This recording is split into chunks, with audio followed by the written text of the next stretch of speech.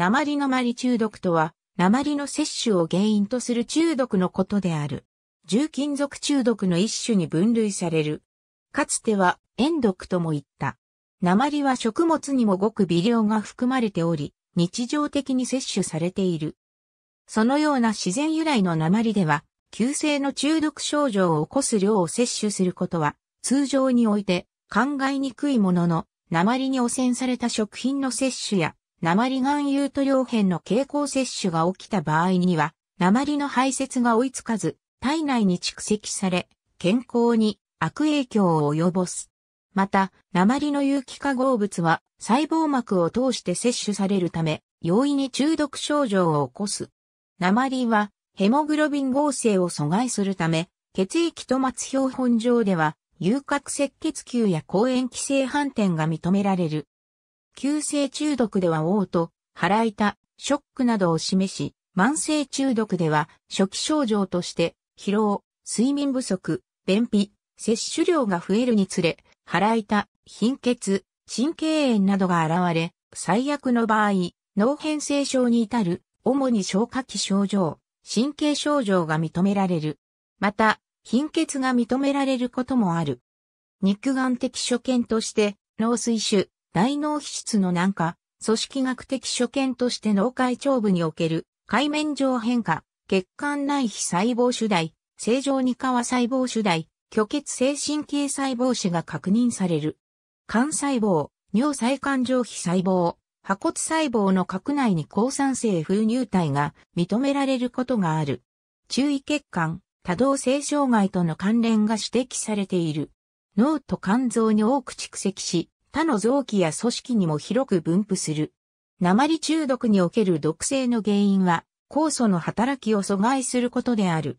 体内に入った鉛は、酵素のチオール元と強固に結合し、チオール元を有する種々の酵素の働きを阻害する。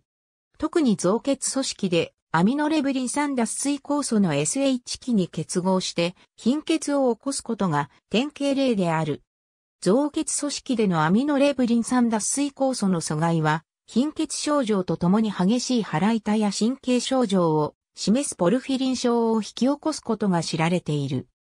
また、小児は、成人よりも鉛を経口摂取した場合の消化管からの鉛の吸収率が良く、成人では経口摂取しても10%程度の吸収率であるのに対し、小児が経口摂取すると約50%が吸収される。このようなこともあり、小児には少量でも知能指数低下や神経障害の原因となる場合がある。また、胎児においては子宮内鉛暴露量が多いほど、出生時の体重が低いとする研究がある。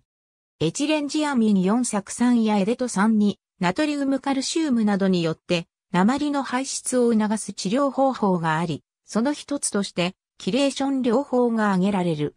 人、動物の主な摂取ルートとしては、以下のような経路が知られている。かつておしろいに塩白が使用されていた時代には、日常的に多量のおしろいを使用する役者などに、鉛中毒が見られた。日本では1934年に鉛を使用したおしろいの製造が禁止された。また、鉛をほとんど含まない鉛フリーハンダも開発されており、欧州連合においては2006年7月1日から従来の鉛を多く含むハンダの使用が原則として禁止された。特に野生動物の場合は、日本では1980年代末頃まで、水道管の給水管新規工事には塩管も使われており、その水道水を飲料水に用いた場合は、鉛が鉛イオンとして溶け出し、長期間飲むことで体内に鉛が蓄積され鉛中毒になる場合もあった。その後、1995年には水道給水管への鉛の使用は全面的に禁止されており、新しい水道管に塩管が使われることはない。かつてガソリンの奥単価を高めようと鉛化合物をガソリンに混ぜた有鉛ガソリンが広く出回っていた当時にはその危険性を示そうと赤や緑に着色されていた。日本国内においては無塩化の動きにより1980年代後半までに、すべてが無塩ガソリンに置き換わり、自動車用有鉛ガソリンの販売、使用は禁止されている。現在ガソリンスタンドで給油できるのは無塩ガソリンのみである。ただしレシプロエンジンを搭載する航空機用ガソリンでは現在でもあり鉛ガソリンが使われている。ローマ帝国では水道管に鉛が使われていたため慢性的に鉛中毒者を発生させて衰退の一因になったという説があるが、それに対する反論もある。主な理由は二つある。一つは水道内部に分厚く沈着したカルシウム炭酸塩が円管の内側にも付着し、鉛と流水を効果的に隔離したこと。